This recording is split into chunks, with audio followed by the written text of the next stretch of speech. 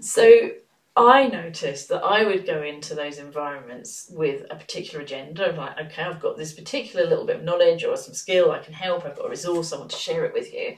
And people were always very happy to see me and very happy to see the resource. But of course, what they're interested in, what they care about, might be quite different to the things that I've come along ready and prepared to engage with.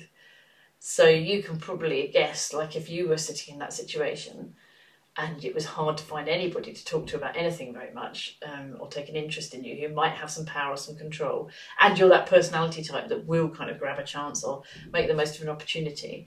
What might you want to ask that person when they come and talk to you about well, i need to get a phone i don't have any signal or you know like the real sort of the basics of my life now, of course, that isn't universally true at all. Many, many people are very polite and attentive to what we're talking about. But what I have found is that as soon as I make those connections, people are jumping on of like, wow, can you know another person? Can you? Where can I get a solicitor? Can you help me with this? Can you help me with that? And it's really important for us to be able to say, I'm not in a position to help you, even though that can be quite difficult to do sometimes because you want to help. That isn't really our purpose and there are other people that you can signpost to. So in the hotels, there's the people who run the hotels.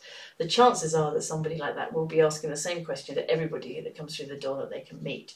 You know, and they'll just keep asking over and over again in the hopes that they'll land the fish. You know, that one day that was that question will come good.